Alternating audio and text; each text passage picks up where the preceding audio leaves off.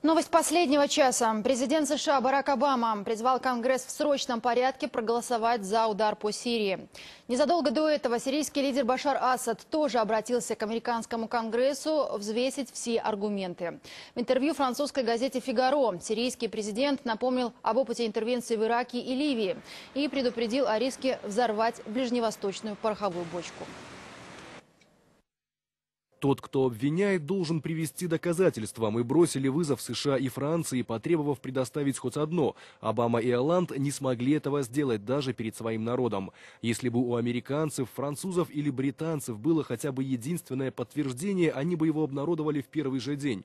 Ближний Восток – это пороховая бочка, и сейчас к ней приближается огонь. Нужно говорить не только о сирийском ответе, но и о том, что может произойти после первого удара, а этого не знает никто. Над ситуацией будет полностью полностью утрачен контроль. Пороховая бочка взорвется, распространятся хаос и экстремизм. Существует риск региональной войны. Уроженец Беларуси, лауреат Нобелевской премии э, по физике, вице-президент Российской академии наук Жерес Алферов считает правильным, чтобы лауреаты Нобелевской премии мира инициировали процесс лишения президента США высокой награды.